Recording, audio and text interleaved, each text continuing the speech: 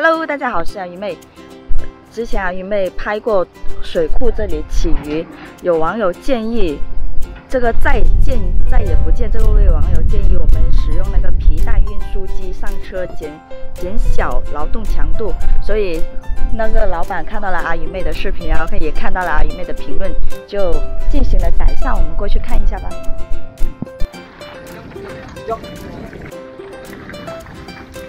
这些鱼已经往回来了，工人们正在分拣，分类好了，然后再放到这个轨道这里拖上去，这样很方很方便。看，这条轨道就是这样上鱼的，下面还有还有一位猛男在那里拉扯，也是应该是用电的。等一下我们上去了解一下，这样省了很多人力物力啊，就不需要不不再需要用挖掘机了，挖挖掘机比较贵哦。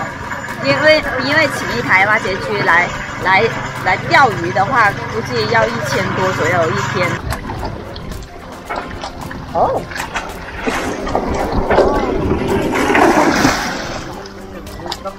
上鱼了，上鱼了。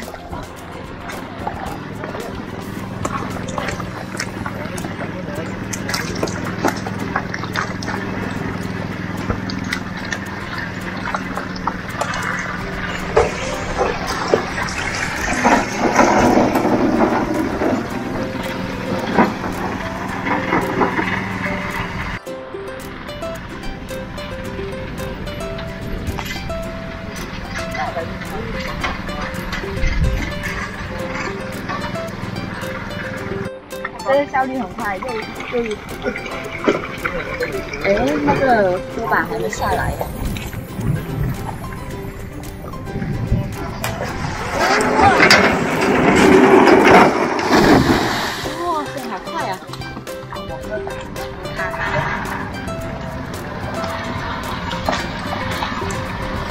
这些行行羊都是鱼，这些鱼可以做罐头鱼、罐头豆豉。也可以煲汤。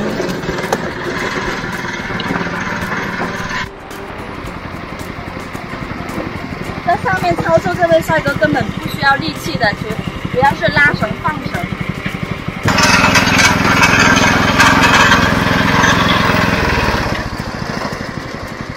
豆豉鲮鱼就是用这种鲮来做的，这个超级方便的。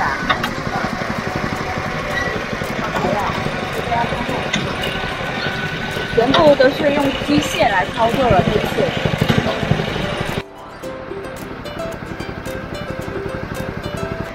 各位老板让我感谢一下，再见再也不见这位网友，因为你的建议真的很好，让他省了不少的人力物力和时间。呃，对，平常对啊，愚昧的视频有什么建议的网友，可以在下方留言一下。这节视频就到这里结束了，喜欢愚昧的记得关注，拜拜。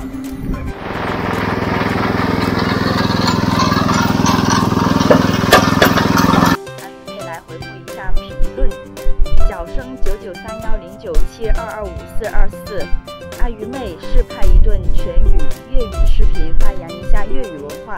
这个建议是好建议，但是我怕说粤语的话，有很多网友听不明白啊。所以你们觉得呢？如果呃你们投票人数多的话，我是可以试一下的。胖子 V 知了，鱼妹怎么不找个男孩保护你一下啊？这个得看缘分啊，这个 急不来。农村阿超。